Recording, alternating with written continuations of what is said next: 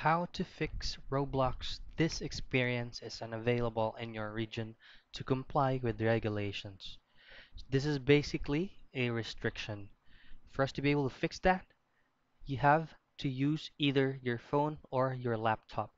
Now go ahead and access Roblox official website, roblox.com.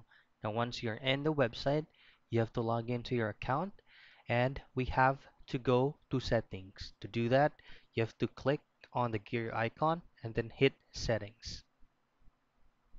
And then after that, you need to check for the privacy if the account restrictions are disabled.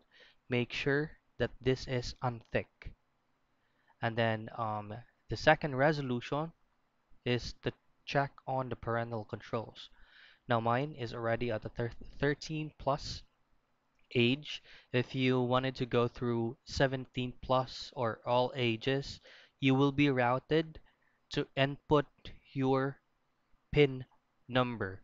Now, if you don't have a PIN number yet, all you just have to do is click on that and make a new PIN.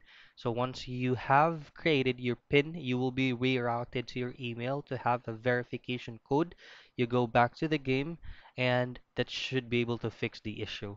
So that's how you fix Roblox experience is unavailable in your region to comply with regulations.